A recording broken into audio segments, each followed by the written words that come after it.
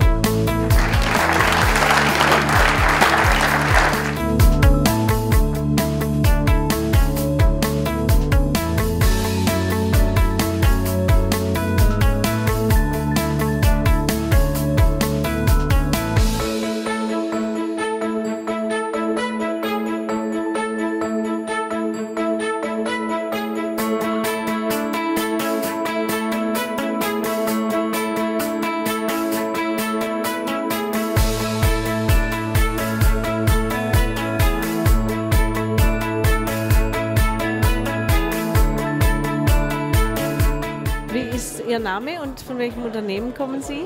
Mein Name ist Claude Robert, ich komme von BMW Regensburg. Und haben Sie selber schon mit der Kata gearbeitet? Ja, ich bin in den Anfängen der Ausbildung als Kata-Coach und hatte schon einige Erfahrungen sammeln dürfen.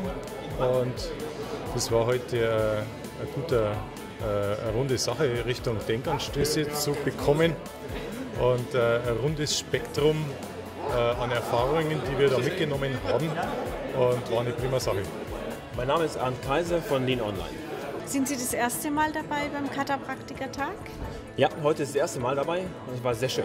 Ich finde das Thema total faszinierend und äh, je mehr ich mich damit beschäftige, desto mehr Demut habe ich dazu, weil es ist ein Thema mit riesen Facetten und man kann es sehr ziemlich schnell falsch machen. Und ich glaube, dass ich hier sehr viele gute Impulse bekommen habe.